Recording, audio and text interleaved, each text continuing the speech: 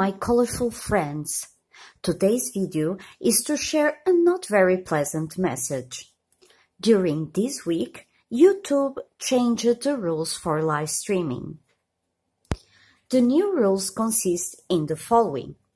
To be able to live stream on mobile, your channel will need to have at least 1000 subscribers. As all of you know, I do my lives with my lovely Chinese mobile phone. And I don't have 1000 subscribers, which means that I will not be able to stream until I reach 1000 subs.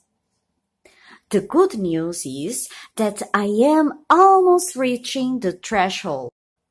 So friends, if you are still not a subscriber, consider to subscribe my channel and uh, why not to invite your friends that loves to color as much as we do. Thank you so much for your support and do never forget that you are the best.